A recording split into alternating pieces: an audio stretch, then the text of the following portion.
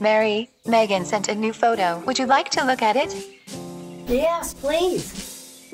Oh, he's a gem. Would you like to respond to Megan's post? Sure. ElliQ reminds me to take my meds, arranges rides for me.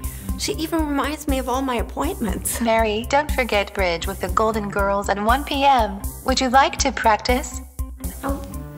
I don't need to practice. I didn't catch that. Do you want to play bridge or not? Oh, fine.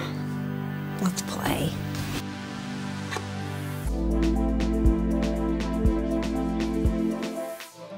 Mary, you wanted to Skype with Liz. Would you like to do that now? Oh, sure, that sounds great.